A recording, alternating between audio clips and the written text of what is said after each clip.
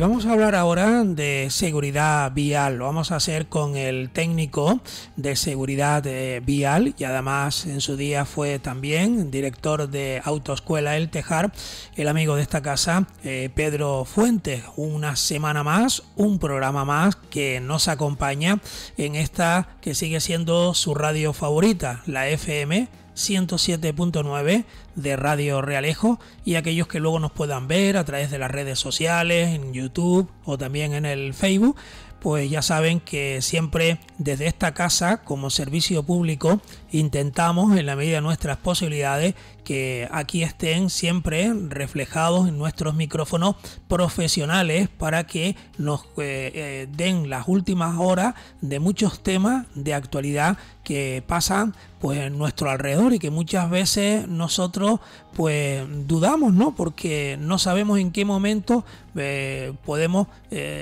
acertar o a lo mejor estar confundidos y, y digamos luego hacerle pasar un mal rato a lo mejor algún otro vehículo o alguna otra persona por desconocimiento de nosotros. Aunque también aquí eh, hay personas que lo hacen, vamos a decir, adrede para fastidiar a otro. Pues hoy vamos a hablar de las limitaciones de velocidad y de un montón de cosas que nos podemos encontrar en la vía pública, en esas calles que habitualmente nosotros eh, pasamos a diario, o bien como peatones o bien dentro de un vehículo. Pedro Fuentes nos está escuchando. Amigo, un saludo, muy buenas, ¿qué tal estás? Un saludo, pues muy bien, muy bien.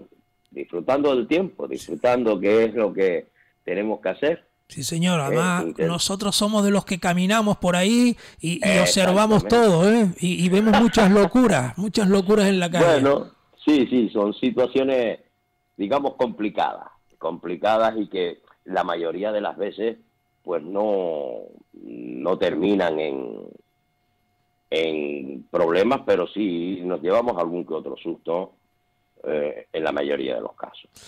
Si bien a veces, pues, las consecuencias son tremendas. Por eso, en la introducción que planteaba, eh, la seguridad vial es algo que está en constante movimiento, es algo que no se puede parar, se tiene que ir adaptando. Y en esto creo que la administración, mm, tanto española como la europea, se trabaja mucho.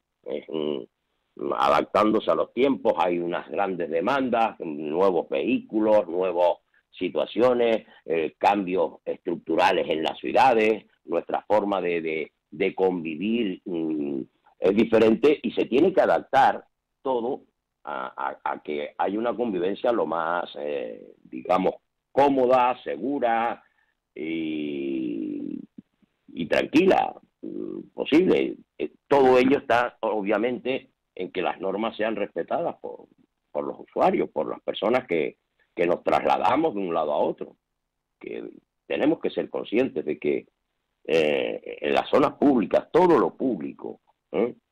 Nuestras limitaciones siempre debemos de poner las nuestras, es respetar siempre el espacio y respetar siempre, obviamente, a, los demás usuarios de la vía que tienen tanto derecho como tú a, a utilizarlas, ¿no?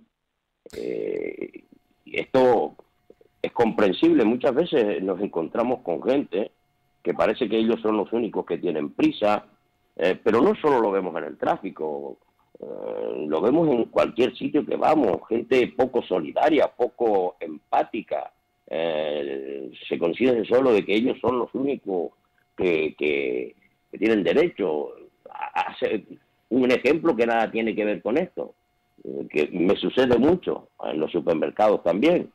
Eh, ah, yo estaba en el, en el veterinario, llego, mi cola, ahí, y siempre encuentras eh, esas típicas personas, ah, yo no voy sino a, yo no voy sino a, es que yo también voy a eso, señor, pero yo me espero en la cola.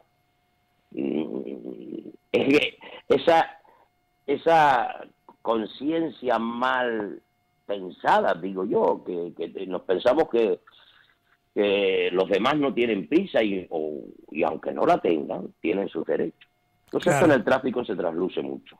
Claro, y ahí en el tráfico te tocan hasta la pita por nada, ¿eh? Alguno que tiene prisa. Claro, es que eh, la sensación de que tú puedas insultar, puedas realizar cualquier acción y darte a la fuga rápido porque confías en, incluso confías en que no, no te reconozca tu cara, hace que muchas, muchas, eh, digamos, conductas salgan a, aflorar eh, y no las valoramos.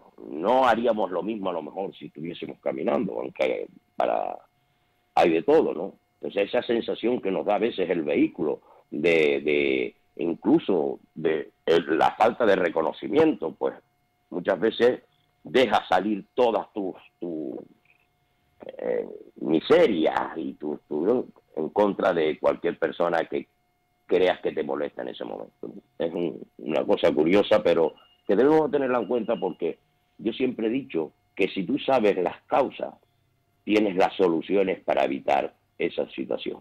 Si yo sé que esta situación, conozco esto, pues yo intentaré que eso no me suceda. Pero en fin, así es el tráfico. Y por eso eh, eh, esta legislación está en constante actualización. Es, algo que creo y podemos sentirnos orgullosos, te lo he dicho muchísimas veces. España es uno de los mejores, mejores países del mundo donde se puede circular. Es uno de los países donde menor siniestralidad hay. Eso también dice mucho de la mayoría de los ciudadanos. Yo siempre me acuerdo de una, yo me acuerdo de una vez de eh, hablando contigo tú, aquí en, en, estos mismos micrófonos de Radio Realescos cuando ah, empezó aquello de los puntos de las sanciones y demás. Mm, entonces empezó mm, todo el mm. mundo a decir, uff, pues a mí me dan uh, los puntos, ¿no? Como todos, ¿no? Y dice, uy, si ahora yo empiezo a perder puntos y tú me decías, y tú me decías, vamos a ver, tú no has conducido toda la vida tú no, no, te comportas bien, pues porque vas a tener ahora problemas de estar pensando en que te van a quitar puntos y tal. O sea, tú sigas haciendo la vida normal y de hecho, pues a mí no me han quitado ningún punto. O sea que seguimos ahí. Cerca al 80% de conductores y conductoras, las personas que conducimos, el 80% no hemos sido sancionados por retirada de puntos probable que hayamos cometido alguna infracción, como puede ser un mal estacionamiento, pisar, ¿eh? pero, pero la inmensa mayoría de, ciudadanos somos totalmente conscientes, lo demuestran los datos, esto no es una cuestión de, pensar que somos mejores que en otro lado, no, no, somos como somos y los datos están ahí, ¿eh? que hemos pasado de ser uno de los países donde mayor siniestralidad, sobre todo comparándonos con Europa, éramos a ser pues, el segundo, digamos, en importancia después del Reino Unido, ¿eh? que tenemos menos siniestralidad en la carretera. Eso es un buen dato, ¿eh? un buen dato. Eso es un dato estupendo y que ya llevamos mucho tiempo en ese, eh, en eso, y esto se basa, insisto, no es solo en las leyes, las leyes son necesarias, pero también el trabajo que se hace en concienciar a la gente. Y la gente, cuando se le dicen las cosas y las analizan, normalmente se comportan como, bueno, por lo que para mí es lo correcto. No, no, la gente no es mala. Eh, y siempre nos encontramos, yo te digo esto, eh, con esto ya también, con las nuevas velocidades eh, que, se implantaron a partir de, primero de este mes, el primero de mayo, ¿no? Pues ahí pasa lo mismo, pasa lo mismo. Pasa lo mismo en el sentido de que hay muchos, ah, esta hora que nos van. No, no, no, no. Sí, esto es muy simple. Si usted lo respete, a usted no se le va a aplicar jamás. Ningún policía podrá denunciarlo si usted respeta la norma. Somos nosotros los que tenemos que ser responsables de nuestras acciones, no son los demás. a veces parece que, que, que el malo es eh, el que intenta poner normas para que se regule y tengamos una convivencia pacífica y, lo menor, menos sobresaltada posible. Eh, por lo tanto, creo, creo que vivimos con una ciudadanía que es consciente, ¿eh? pero siempre tenemos esa minoría a la cual no hay que darle, no hay que darle ningún tipo de énfasis ni ningún tipo de publicidad, porque son los que seguramente están pensando que ellos no respetan la norma. Ellos beben y conducen, ellos las velocidades mm, vamos, mm, no, no las ven, ellos van a lo suyo. Entonces, ese típico de personas es normal que tengan su, su miedos y sus mosqueos, por decirlo así literalmente. Pero esa minoría no nos va a llevar a unas conductas, a volver a un pasado donde teníamos un número de muertes que eran más de 6.000 muertes al año por accidentes de tráfico. ¿eh? Mientras hoy estamos en una... Sin embargo, observa cómo la administración ha respondido, se ha visto un repunte ¿eh? de muertos en las vías urbanas y, esto hay que serlo así, la administración en este aspecto ha funcionado correcto. Enseguida hoy hay que regular. Muchos ayuntamientos han demandado a la Dirección General del Tráfico que se regule. ¿Por qué? Porque conocen sus problemas. Esto no es una, es una demanda de la reducción de velocidad porque hay un problema. Se han aumentado las muertes, sobre todo de peatones, sobre todo personas mayores, sobre todo personas, niños en las vías urbanas, y hay que poner eh, solución. Hay que poner unos um, soluciones en la cual se minimicen esos posibles errores que puede cometer un conductor y en el caso de que haya eh, cualquier conflicto, pues los atropellos tengan menores consecuencias, porque indudablemente que a partir de 50 kilómetros por hora, en caso de un atropello, la posibilidad de morir es más del 60% ¿eh? que tiene una persona atropellada. Mientras que cuando bajamos a 30 o a 20, la posibilidad de lesiones muy graves o muerte se reduce de una manera bastante contundente. Entonces, esto es sentido común, esto es la protección de los ciudadanos. ¿eh? No somos infalibles, todos, yo soy el primero, cualquier persona puede despistarse y ese despiste tiene unas consecuencias. Si no vamos respetando las normas y ese despiste eh, lo llevamos a una velocidad excesiva, eso conlleva a la muerte, lo peor que puede ocurrir. Sí, que es el punto, el punto fatal de, todo. Eh, exactamente. Y, y, hay que mirarlo así. Aquí no se trata, yo vuelvo a insistir, a ti no te van a denunciar, no te van a sancionar, no te van a quitar ningún punto, no te van a meter en la cárcel si te respeta. Por lo tanto, si tienes algunas consecuencias, no mm, le eches la bronca ni a la administración ni al policía. El policía cobra, por la vigilancia del tráfico. Ese es su trabajo, señor. ¿Eh? Que cuando vemos el número de multas que se hace, que se ponen tal cual, es que pues, tiene usted que decir, estas señores están haciendo su trabajo, cobran. ¿eh? Mm, me sorprendería mucho que no hubiesen denuncias, entonces, ¿por qué tenemos policía de tráfico? ¿Que, ¿A qué se dedican? Porque la policía de tráfico es para la vigilancia.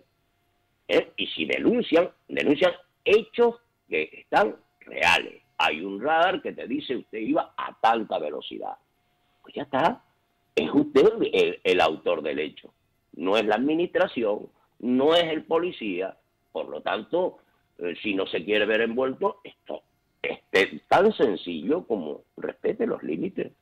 Que respetar los límites es respetar a los demás, a los demás ciudadanos no es una mera falacia, eso, yo respeto el límite, no, yo respeto a los demás, yo respeto a las personas que conviven, que participan, que mm, utilizamos los mismos lugares.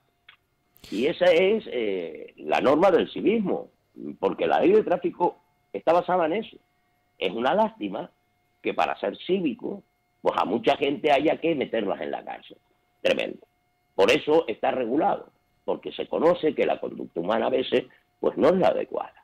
Entonces, para eso están las penas, pero no están para todos los conductores, están para aquellas personas que no respetan las normas.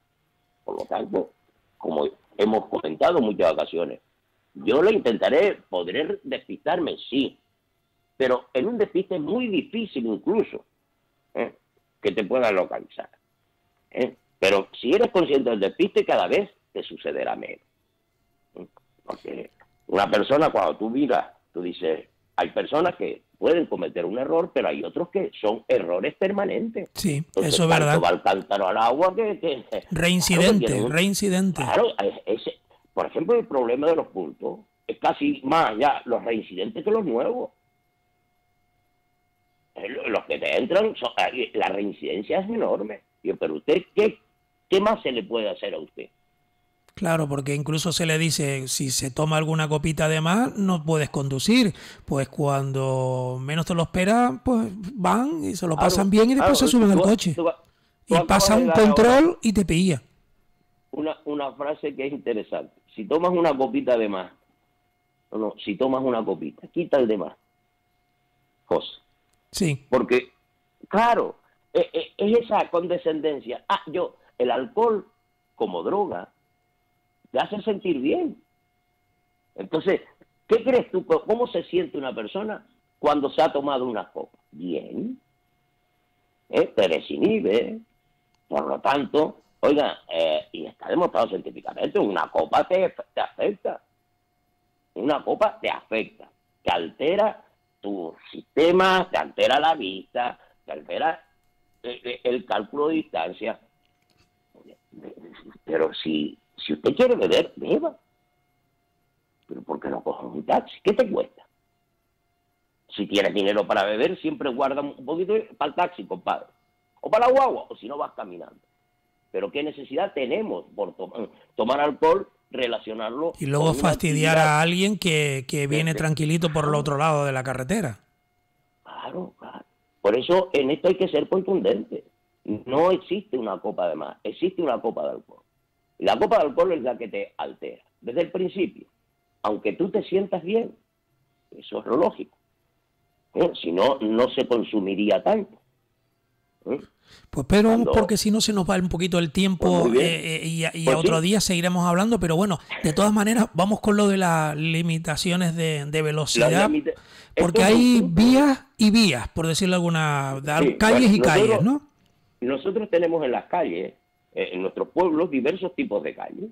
Entonces tenemos, por ejemplo, la calle, digamos, eh, esas buenas, que son, que tienen una vía que tiene para tu sentido dos carriles eh, para subir, dos carriles para bajar, o, o, que tu sentido tenga dos carriles, esas son relativamente bastante seguras y ahí la velocidad sigue siendo la misma, 50 kilómetros por hora. Ahora bien, ¿qué ocurre con las típicas calles que tienen un único carril por sentido? Esa que es de doble sentido, un carril para arriba y otro para abajo. ¿No? Pues ahí la velocidad máxima es 30 kilómetros por hora. No se puede pasar de 30. ¿Eh? Insisto, nadie. El otro día un amigo mío me comentaba, dice, oh, pues nos van a adelantar las bicicletas. Me decía, yo le, le dije, recuerda que la bicicleta como vehículo también tiene que respetar los límites de velocidad. Era un detallito este de que queremos eh, y pensar, oiga, que la bicicleta es un vehículo que también tiene que respetar los límites de velocidad, igual que cualquier otro. Y luego tenemos aquellas calles que son donde, digamos, los peatones no tienen ningún tipo de protección física. Es decir, que la plataforma es, no sé, por ejemplo, aquí en el, eh, en el, puerto hay ahora el tramo que hicieron de la calle Blanco, que llega hasta la Plaza del Charco. ¿Eh? Hicieron el asfalto. Que está todo al mismo, al mismo, nivel, ¿no? Al mismo nivel. Esos son vías de 20 kilómetros por hora. ¿Eh? Cuando tú veas que las aceras no están, no tienen diferencia con, con lo que es la, la calzada, bueno, eso ahí no se puede pasar de 20. Es así de simple. Es decir, si tú tienes un carril para, para cada sentido, por ejemplo, la, la, un carril para cada sentido tenemos en Los Realejos la Avenida Canaria. Tenemos, son de, tenemos de bajada y subida, ¿no? ¿Cuántos carriles tenemos? Dos carriles, ¿no? Para bajar y dos carriles para subir en el tramo de la Avenida Canarias de... Sí, aunque el primer tramo es de uno solo, uno eh, sube y otro baja. Por eso, esto es un ejemplo bueno. En el primer tramo, que tienes un carril para subir y otro para bajar, ¿cuánto sería la velocidad? 30. Si llegas al tramo en el que tienes dos carriles para tu sentido, ahí ya puedes ir a 50. Tenemos, ¿Mm? podemos, yo qué sé, eh, la carretera que va para la montaña, Correcto, esa es buena también de ejemplo, sí. Ese doble sentido, ¿verdad? ¿Cuántos carriles tiene? Uno. Uno para allá y otro para acá. Sí. 30 kilómetros por hora. Esos 30 kilómetros por hora. Solo en las que tengan tu sentido dos o más carriles puedes ir a 50. En el resto lo máximo es 30. Y si encima vamos por una vía donde eh, tienen una sola plataforma, ¿eh? es decir, las aceras están a la misma faz que la calzada, por lo tanto es una sola plataforma, ahí no se puede pasar de 20. Es decir, es, muy sencillo. No obstante, eh, estarán señalizadas. Me imagino que cada ayuntamiento. Sí, ya, ya los ayuntamientos están eh, señalizando las vías, sí. Pero aún así, insisto, que, y que les recuerdo, esto es una norma. No la señal en estos casos que ponen los ayuntamientos es con el fin de recordarla. La norma está. Es decir, no me ponga a luego a decir que, ah, no, no, es que no había señal. Mire usted, no ve el tipo de vía en el que está, por eso es importante sabernos eh, el tipo de vía. ¿Eh? Porque aunque no haya señal, el límite sigue existiendo. Que hay algunos que dicen que yo no vi la señal. Bueno, pero tiene usted que conocer la norma. La norma dice que en este tipo de vía, este es el límite. Claro, porque hay que diferenciar lo que son, vamos a llamar carreteras generales de un pueblo a otro. Eh, eso es otra eso cosa. Son travesías. Sí. Eso son travesías. Y en las travesías se aplica, se aplica esto también. ¿Eh? Por ejemplo, la Vera. La Vera eh, tenemos que es una travesía, viene la carretera, digamos, de la Ordaba de, hasta las arenas, ¿no? Toda la Vera y sigue por la, por la, por, para los gralejos pasada la carajita. Sí, por la, la, higuerita hacia allá. La higuerita. Entonces, ¿qué hacemos allí? ¿Cuántos carriles tenemos? Hay dos, uno para allá y otro para acá. Pues, amigo, lo tienes claro, ¿verdad? 30 kilómetros por hora. 30 kilómetros por hora. Y eso que uno ahí dice que es carretera como general, ¿no? Porque dice, bueno, no, no No, pero eh, recuerda, sí, ese término de carreteras generales eh, lo podríamos decir, esos son tramos de vías interurbanas. Las vías interurbanas son las que están fuera de los pueblos, ¿no? Sí. Y normalmente el titular de esa vía es el cabildo del gobierno de Canarias, dependiendo del tipo de vía. Pero, ¿qué ocurre? Que esas son carreteras de muchos kilómetros y atraviesan pueblos. Esos tramos que quedan dentro de la zona, digamos, de vivienda del pueblo, se llaman travesías. Y se le aplica la misma norma que las vías urbanas. Aunque tenga titularidad diferente. Por lo tanto, si yo ahora mismo en la vera tiene un carril para cada sentido, por lo tanto, ahora mismo en la vera, y además que es lógico, porque sobre todo las travesías son las vías más peligrosas. Tú vienes una carretera de 90, 100 uh, y, de repente te metes en un pueblo donde te puede surgir lo mismo una persona mayor, es decir, sabemos que concretamente por allí por la carajita se ha atropellado a algunas personas con el resultado fatal, ¿no? De, muerte. Es que son vías muy peligrosas. Si, aunque no las percibamos, es decir, eso no se hace por, por fastidiar a nadie, sino porque hay técnicos, hay gente que sabe mucho de esto, se perciben los riesgos, los valoran y actúan. Y son, claro, esto es como tiene que ser. Si yo, yo como técnico en esto, eh, me, baso siempre en lo que es la investigación, la investigación, la recopilación de datos, motivo de causa, y entonces se legisla. Pero no es que se me cruce un cable y pongo ahora un 20 allí, no. Esto está estudiado por gente que sabe. Por lo tanto, al resto de Montales lo que nos queda es respetarlo. Porque cuanto más llegas a estar, menos actitud tienes, menos enfado tienes. Por lo tanto, Mm, eso para tu salud también es bueno. Pues Pedro, se nos acaba el tiempo. Ya. Pues amigo mío. Vamos a dejarlo para la próxima semana porque se nos quedan muchas cosas y yo creo que hay que ir recordando. Hoy has estado muy bien porque hemos repasado y tú has estado pues muy bien en, muchos detalles para recargar a los amigos oyentes. Yo creo que hemos hablado de casi todo, ¿eh? pero quedan cosas y ya hoy ya no... Quedan cosas y me gustaría lo próximo, volver a insistir en los vehículos estos modernos de movilidad personal que siguen siendo en muchos casos un caos. Bueno, pues ese será nuestro este próximo argumento, ¿no? En este aspecto, solo voy a pedirle a los ayuntamientos, a nuestros alcaldes, eh, que tomen conciencia y que vigilen y que pongan un poco más de sentido común al uso de, las vías urbanas por parte de determinados vehículos de movilidad personal. Es interesante, sí. Bueno, pues ya la próxima semana eh, volveremos a hablar de, de, todo ello. Pedro Fuentes, técnico en seguridad vial y ex director de la autoescuela El Tejar. Un placer y muchísimas gracias. Y hemos hablado de, que tenemos que estar vigilando nuestro cuenta kilómetros, pues yo estoy vigilando el reloj aquí. Pero es que eso, eh, cuando vamos en el coche, es lo que tenemos que hacer. Igual que cuando estamos en el trabajo, tienes que mirar tus tiempos, porque tu trabajo en el coche lo que tenemos que hacer es atender a lo que estamos haciendo. Claro. No podemos realizar una actividad tan de tanto peligro con, como autómata, no, hay que ir siempre consciente. Un abrazo amigo, hasta la próxima. Un abrazo. Suerte. Gracias.